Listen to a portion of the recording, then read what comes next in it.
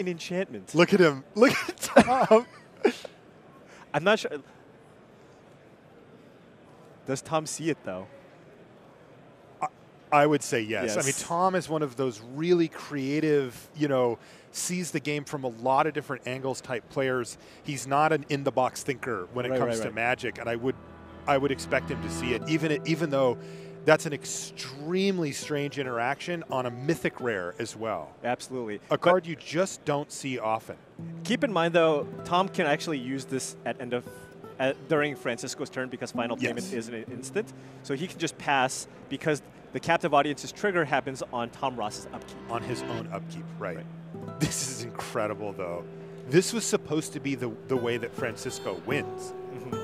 Interestingly, it did force Tom's hand in that he didn't have an option, right? He can't let Francisco have the five zombies.